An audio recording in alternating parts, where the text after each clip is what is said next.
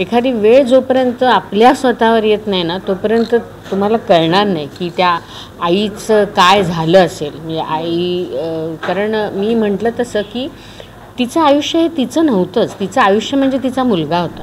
मला जसं माझ्या सासूने वागवलं तसंच मी तिला वागवत होते. पण कुठेतरी ती माया आईची असते ती कायम होती.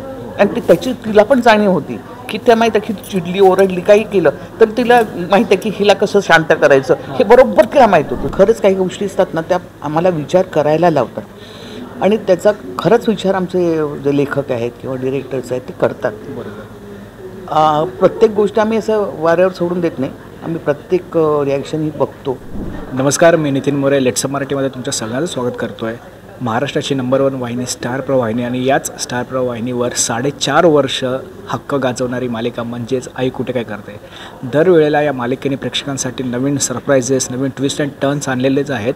पण ह्यावेळी जो टर्न किंबहुना ह्यावेळी जो नवीन अध्याय सुरू होतो तो अध्याय थोडाफार प्रमाणामध्ये दुखावणारा आहे. आणि का दुखावणारा आहे ते तुम्हाला प्रोमोवरून कळालंच असेल.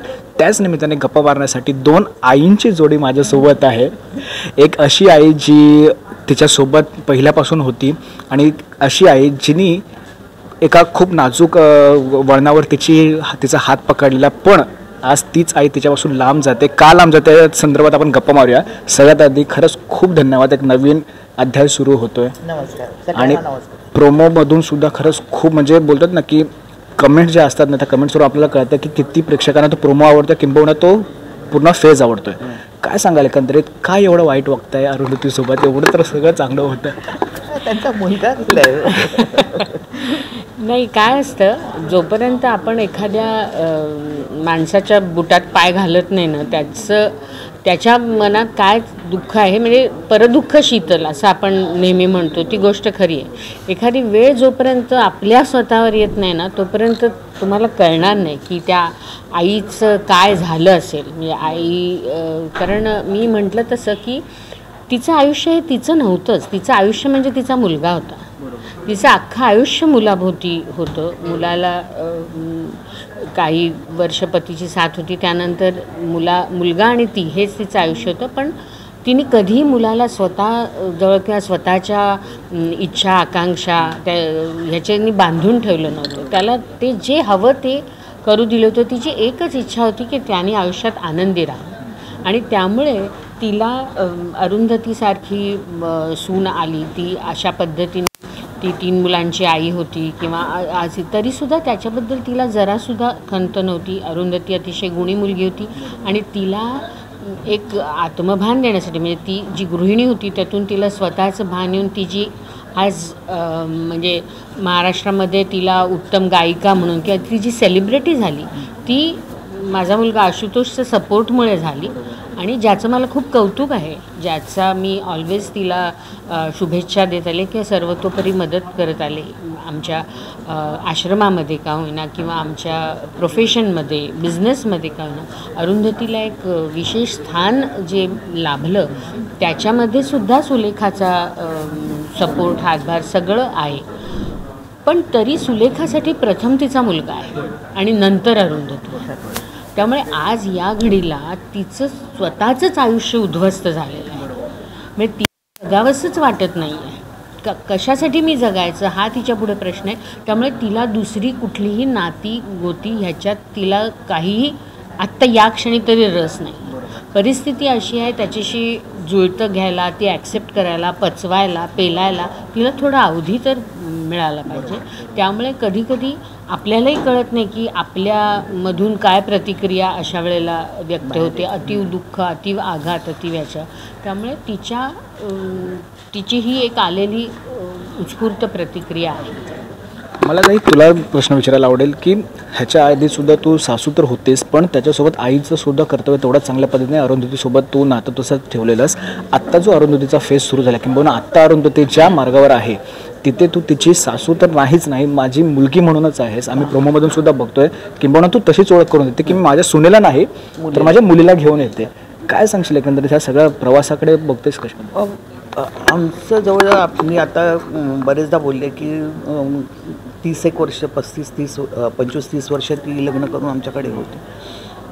तितक्या काळात ती माझ्याबरोबर जास्त राहिली चोवीस तास. कारण ती दुसरं काहीच करत नाही घरातच होते. त्यामुळे आमचा दोघींचा सहवास किंवा प्रवास एकसारखा झाला. मला जसं माझ्या सासूने वागवलं तसंच मी तिला वागवत होते. पण कुठेतरी ती माया आईची असते ती कायम होती. आणि ती त्याची तिला पण जाणीव होती. की त्या माहीत आहे की चिडली ओरडली काही केलं तर तिला माहीत आहे की हिला कसं शांत करायचं. हे बरोबर तिला माहीत होतं. जे संजनाला माहीत नव्हतं. संजना खटके उडतात ते तो थांब तू जरा समजून घे. पण तिला कसं माहीत होतं की ही आता ओरडली ना तर हे हे झालं की बरोबर किंवा बरोबर तिला ओरडायला लागू नये. त्याच्या आधीच ते करून मोकळे व्हायचे. बरोबर. तर त्यामुळे तिला तिचं माझं इतकं परफेक्ट आहे. की ते मला दुसरीकडे कोणाकडेच मिळत नाही आहे न संजनाकडे मिळत आहे न दुसरं कोणाकडे मिळते? त्यामुळे माझी पुन्हा पुन्हा असं मनात काय म्हणतात तो चलबिचल होते की मला ती परत पाहिजे. म्हणजे माझं घर आधी जसं होतं व्यवस्थित चालत होतं व्यवस्थित सगळं चाललं होतं तसं पाहिजे म्हणून. बरोबर. आता हे जे अपघात झाला आहे तो आमच्यासाठी सुद्धा तितकाच मोठा शॉक आहे. आम्हाला असं वाटलं नव्हतं की एकदमच तिच्या हा ते छत्र तिचं हरपेल आणि असं होईल. तर माझ्यासाठी दुसरा अपघात हा होता की मी आत्तापर्यंत यांचं जे माझं नातं होतं किंवा मी यांना जे पाहत होते ते इतकं समजूतदारपणा होता. आणि अचानक अशा परिस्थितीत त्या बाईने असा स्टँड घ्यावा हे. मला अपेक्षितच नव्हतं. त्यामुळे त्या क्षणाला म- जे म्हटलं की हां नाही तुम्हाला नको आहे ना मी माझ्या मुलीला घेऊन जाते परत. तुम्हाला ती नको आहे तुमच्या घरात चालेल. असं करून मी घेऊन येते खरी. आल्यानंतर मग मी तिची आई होते. आई आत्तापर्यंत तिची सासू म्हणून कारण आता मी तिची सासू नाहीच आहे कोणत्या अर्थाने. आता मी तिला परत घेऊन येते तर आई या भावनेने घेऊन येते आणि मी तिला असं पुढे बघूया प्रवास कसा काय चालतोय. पण मी तिला पाठिंबा देऊन परत एकदा तिला उभं राहण्यात मदत करेन किंवा तिला असं प्रोत्साहन देईन की पुन्हा ती आपली जिद्दीने पुन्हा आपल्या पायावर उभी राहील.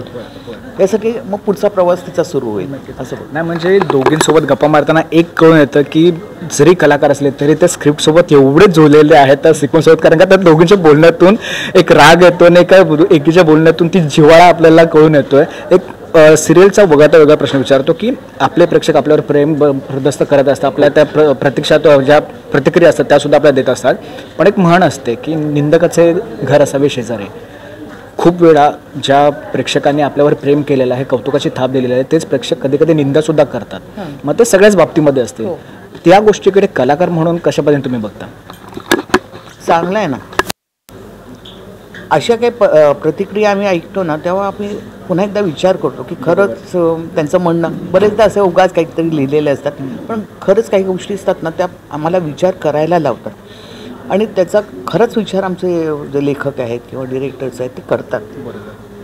अ, प्रत्येक गोष्ट आम्ही असं वाऱ्यावर सोडून देत नाही. आम्ही प्रत्येक रिॲक्शन ही बघतो. आणि आम्ही मुळातच आमचं चॅनल किंवा आमचे डिरेक्टर्स आमचे रायटर्स इतके मनापासून सगळ्या गोष्टी पडताळून प्रत्येक गोष्टी लिहत असतात की त्याच्यात चुका काढण्यासारख्या काहीच नसतात. पण तरी कोणाला काही काही चुका दिसतात तर दिसून काय नाही. पण लोकांचं प्रचंड प्रेम आम्हाला सगळ्यांना मिळतंय. पूर्ण सिरियलला मिळतंय. त्यासाठी सगळ्यांचे खूप खूप आभार. असंच प्रेम असू दे. नक्कीच. ते तू काय सांगशील? हो मी असं सांगेन की ह्या मालिकेचं सुरुवातीपासूनचं एक वैशिष्ट्य आहे. म्हणजे खरं तर हा तुमचा प्रश्न हा लेखकासाठी आहे पण तरी मी त्याचं उत्तर देते. की निंदकाचे घर असावे शेजारी कसं? कारण आमच्या हातात जे लेखक शब्द देतात ते आम्ही सादर करत असतो. पण या मालिकेचं एक खास वैशिष्ट्य असं आहे की याच्यामधल्या सम सर्व कॅरेक्टर सर्व व्यक्तिरेखांना स्वतःचं एक असं म्हणणं आहे. स्व त्यांचं म्हणून एक लॉजिक आहे त्यांच्या कॅरेक्टरचं आणि जे विशेष आहे म्हणजे अतिशय परस्पर विरोधी मतं असलेली कॅरेक्टरसुद्धा आपापलं म्हणणं जेव्हा मांडतात तेव्हा बघणाऱ्याला वाटतं की हो बरोबर आहे. अनिरुद्ध खलनायक असं या वाटला तरीसुद्धा अनिरुद्धचं म्हणून काही म्हणणं आहे. आणि नवरा म्हणून तो चांगला नसला तरी वडील म्हणून मुलगा म्हणून तो चांगला आहे. ह्या कॅरेक्टर्सच्या वेगवेगळ्या बाजू आहेत ना त्या ज्या पद्धतीने या सिरियलमध्ये आलेल्या आहेत ते विशेष आहे. म्हणजे प्रत्येक कुठलंही कॅरेक्टर हे एका दिशेने जात नाही. त्याला अनेक पैलू असतात. नातेसंबंधांवरचं हे नाट्य किंवा हे आहे ते नातेसंबंधांना विविध पैलू असतात.